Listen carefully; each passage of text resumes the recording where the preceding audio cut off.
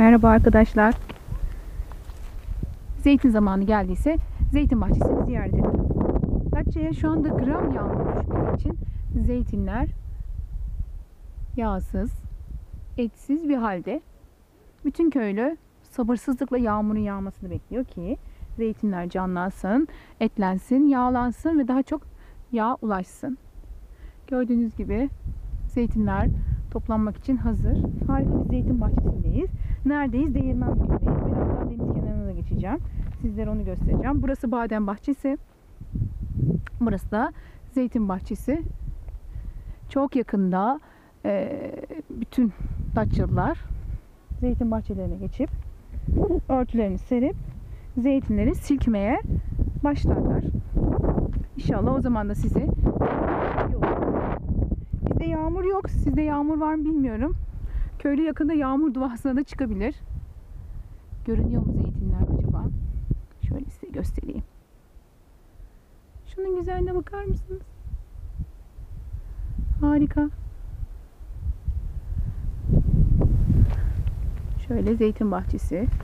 Yerlere örtüler serilerek zeytinleri uzun çubuklarla vura vura her sene dayak yiyor bu zeytinler. Bilmiyorum günahları nedir bilmiyorum. Ama her sene dayak yiye yiye bu zeytinlerini döküyorlar. Köylüler bunları daha sonra çuvallara doldurup genellikle herkesin kendi köyünde eee sıkım fabrikası var. Bizim köyde yok.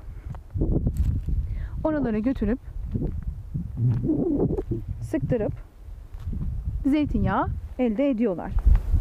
Bir kısım köylü aslında traktörle sulatıyor ama eğer tarlası çok büyükse, sapa bir yerdeyse e, yaradanın yağdıracağı yağmur bekliyor. Hiçbir müdahale yapamıyor.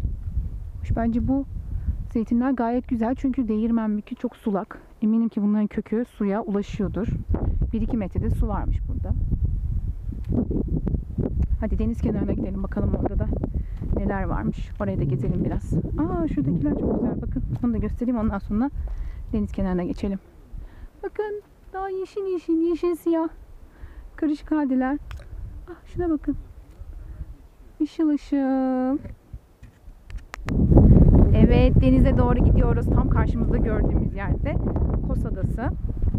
Değirmen Bükü'nü niye seviyoruz? Çünkü Değirmen Bükü çok sakin. Sessiz. Şimdi diyeceksiniz ki sakin sessiz sen söylüyorsun buralar ya dolarsa. Dolmaz dolmaz. Buraya işi düşmeyen bizim gibi ıssız sevmeyen adamlar gelmez açıkçası. Kekliklerin ayak izleri var her yerde. Burada çok fazla keklik de görebilirsiniz. Çok rüzgar var şu anda burada. Ama çok güzel. Karşınızda gördüğünüz deniz Ege Denizi. Birazdan benim gelip piknik yaptığım ve sevdiğim alanı da göstereceğim. Bak ıssız diyorduk ama orada araba var. Issız değil. Ah, rüzgar sesini duyuyor denizin dalgasının sesini bilmiyorum. Çok güzel gidiyor. Güneş batıyor. Akşam saat 6 gibi. Oo, buraya demlenmeye gelmiş arkadaşlar. Oraya çok gidemeyebiliriz. Size orayı gösteremeyeceğim. Çok güzel. Orada masamız var. Ocaklar var. Ağaçlar denizin altına kadar geliyor. Şöyle uzaktan bakın.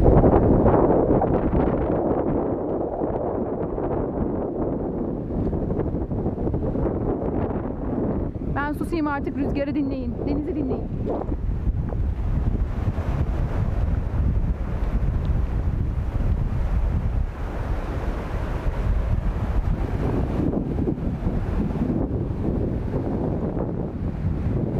Kıpır kıpır bir deniz. Harika. Orada demlenen arkadaşlar.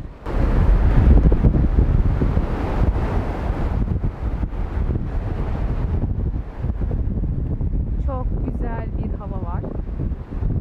Güneşi batırıyoruz. Bir gün daha geçti ömürden. Ama güzel bir yerdeyiz. Güzel bir yerde batırıyoruz.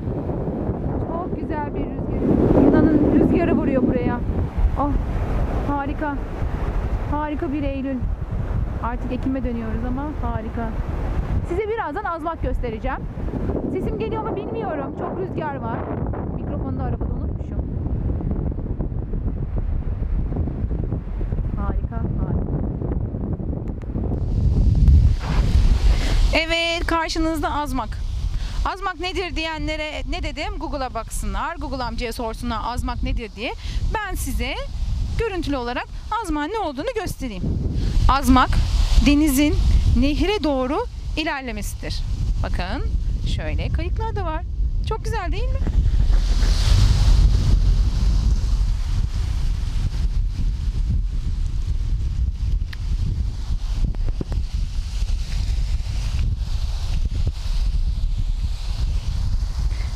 Evet. Değirmenbükü'nden kısa bir kesit sunduk size. Değirmenbükü'nden, Ege Denizi'nden, Kos'tan, Rüzgar'dan, Azmak'tan herkese selam olsun. Umarım beğenirsiniz videomu. Ben keyif alıyorum çekmekten. Beğenin de canı sağ olsun, beğenmeyenin de. Sevgiyle kalın, hoşça kalın ve mutlu kalın bence. Görüşürüz.